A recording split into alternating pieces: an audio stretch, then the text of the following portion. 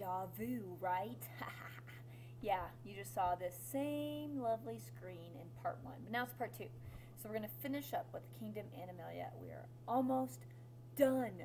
Hang with me, okay? Honey Badger don't care, remember?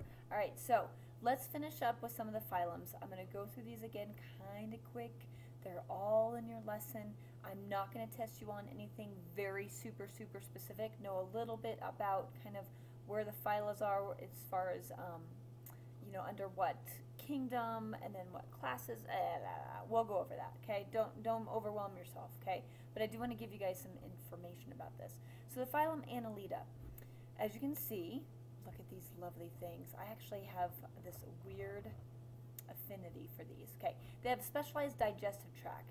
Um, they're they have actually have a well-developed heart with a closed circulatory system, which is very important. That blood's not just kind of going everywhere. They have a closed system. Okay, that actually is very specialized. Body's divided into segments. You can see all these different segments. They eat soil, break down organic matter, waste provide nutrients to soil. So these are really important. Okay. Oh, I just, um, sorry, I repeated myself down there. Have a closed circulatory system. But these are really, really important because when we talk about these, I'm going to talk about leeches and some um, important things that leeches provide us with. So let's kind of go through real quick. As you can see again, they actually have numerous hearts, okay? A very well defined um, circulatory system. It's a closed circulatory system. They're segmented. They have body cavities. They have excretory organs. They have all sorts of things that make them a little bit more complex than kind of the average um, roundworm or, or even a flatworm, okay? Um, there are three classes. The Polychaeta, so these are marine worms with crazy little feet. They are kind of crazy. Um, they're called Parapodia, and I don't think I have a good picture of them right now. Um, maybe I thought I did, but they have these crazy little feet and then something that are called setae that help them move about. So parapodia are paddle-like extensions used in swimming. They also serve as respiratory organs, believe it or not. And then the setae are these bristles that are attached to those. So it helps with locomotion as well. Okay, um, the class Oligochaeta, which are the earthworms, which we're used to seeing a lot, these lovely things right here. Okay, so earthworms are actually so important for the soil. They kind of break it up. Um, you know, they just provide a lot of actual nutrients, especially when they decay and stuff like that. So earthworms are actually very important. And then our Hirudinea. Okay, these are the leeches, and although I think they're kind of disgusting and gross, and I wanted to show you my favorite clip for my movie, but um, due to copyright issues, I cannot show the video and then post it on YouTube. But if any of you, if any of you guys, I can't talk. If any of you guys have seen Stand by Me, and if you haven't seen it, see it. It's a great movie about these kids that kind of take this journey by themselves. But anyways, um, there's a there's one scene where basically they um, walk through this swamp and then they are just infested with leeches. Leeches will, as you can see, latch on to skin and they start to suck blood. But the cool thing about leeches, even though they're freaky, um, they actually serve a medical purpose. Okay, so actually leeches are used to kind of um, stop bleeding or get bleeding going. Uh, I shouldn't say stop bleeding because they're gonna they're gonna suck things, but they're going to um, kind of help with kind of the healing process when it comes to getting blood to different parts of maybe the skin or something that has not had blood supply. So leeches are actually um, used medically, so it's kind of cool. Okay, moving on. So the phylum uh, Arthropoda, over 1 million species. Doesn't that make you so excited that there's over 1 million species of these crazy creatures? Okay, the largest group of organisms on Earth are the arthropods. They have jointed appendages, so they have their head, thorax, and abdomen. They have an exoskeleton that they periodically molt, so they'll shed it, okay? So spiders, crayfish, insects, a lot of those um, have that exoskeleton that they'll molt away. A well-developed nervous system, more complex respiratory system, and they're classified into classes according to the number of legs, eyes, and antenna they have, which is kind of interesting. So, you know, you've heard of a lot of the um, insects that have six legs versus the spiders or the arachnids have that have eight. So um, they are classified into different classes based on that. So here are some of the different um, arthropods, and there's many different types, but crabs are a part of this, centipedes, bumblebees, and spiders. And if you notice, crabs have five legs, spiders have four pairs of legs, Um, sorry, five pairs of legs, not five legs. Um, bumblebees have three pairs of legs, so six total. And the centipede have one pair of legs for each segment. So again, that there's so many different classes under the arthropodas, not just um, you know spiders or not just insects. All of these are encompassed in this one phylum.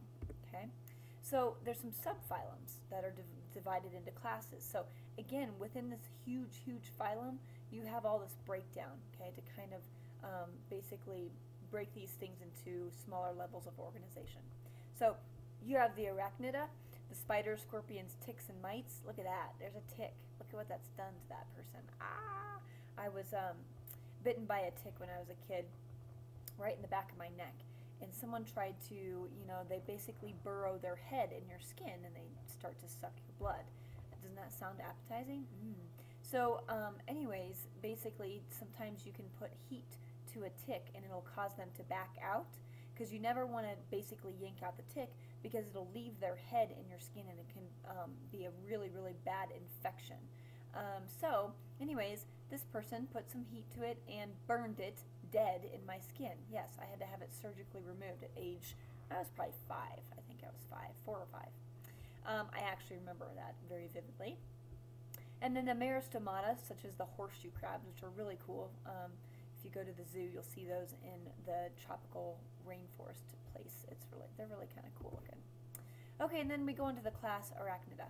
No antenna, four pairs of legs, so eight total. Two body regions, the cephalothorax and the abdomen, are only the two segments within these. These are the spiders, the scorpions, the mites, and the ticks. Here's yet another picture of a tick that's burrowing into someone's skin. Yummy.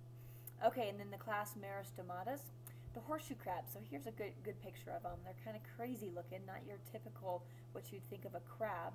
Um, they're a very ancient group of species. They've been around for a long time. They haven't changed over 350 million years. So they've been here a long time.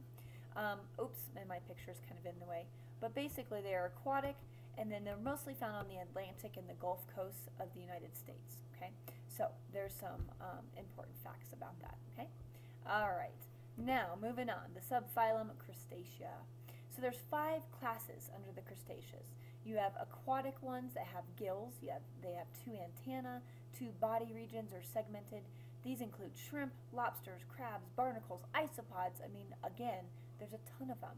And then, of course, I have to add in that many of these species taste delicious in butter. Um, I don't know if any of you guys like lobster. Mm, mm, mm.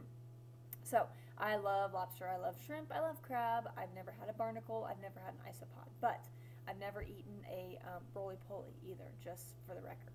But um, there are tons of different types of crustaceans. But the most one, the ones that we know the most about are the crabs and the lobsters and such. Okay.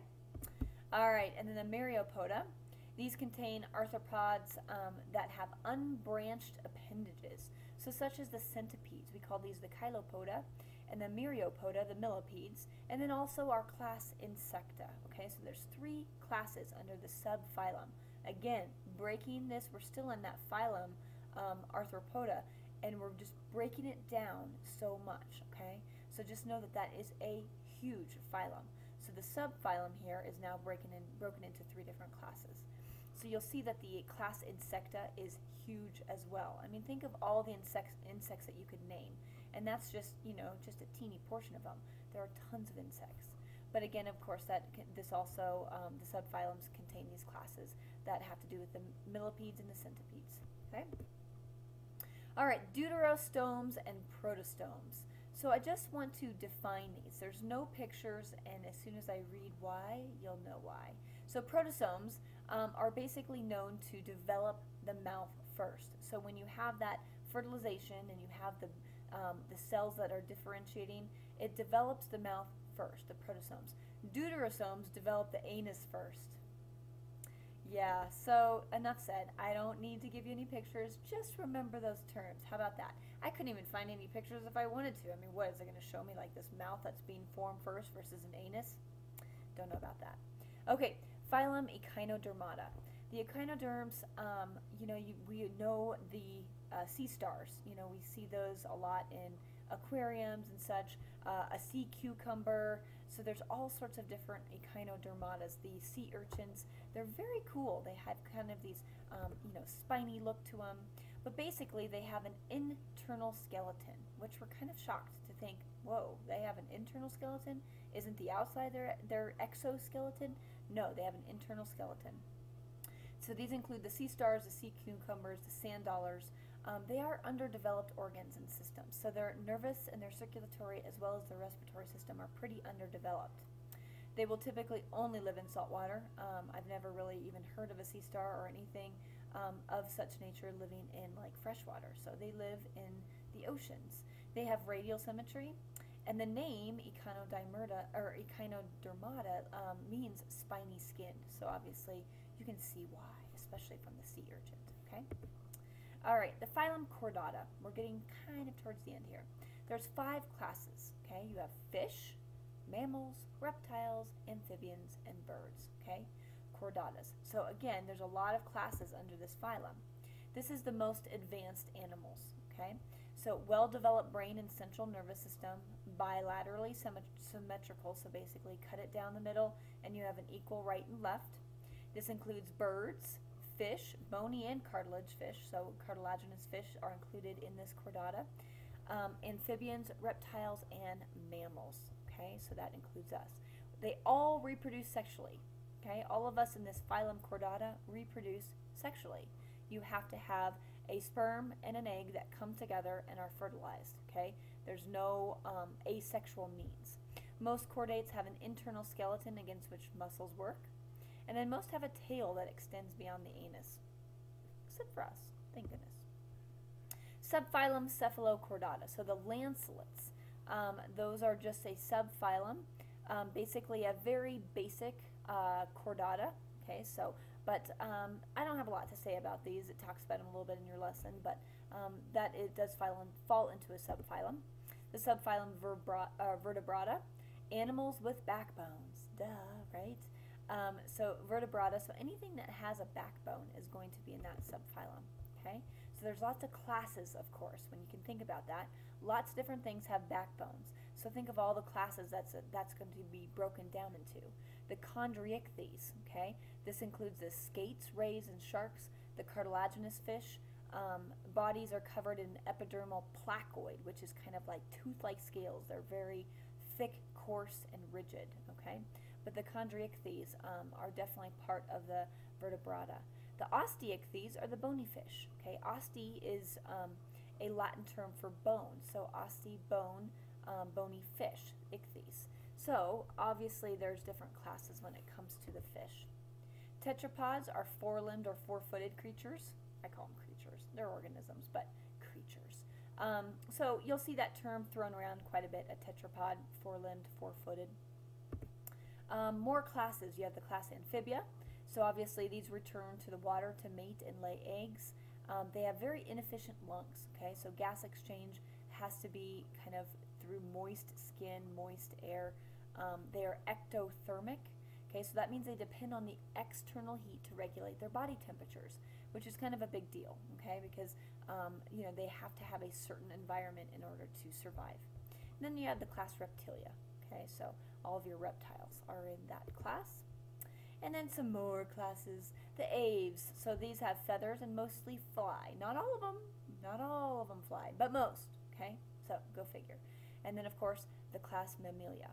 So they have hair, the presence of three middle ear bones comes into the mammals, and the production of milk by mammary glands. Okay, so those are the big three things that um, that happen with mammals. Okay, all right, short and sweet, right? We are done with biodiversity, biological diversity in the past.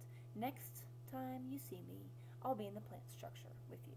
All right, have a lovely day, night, morning, whenever you're watching this.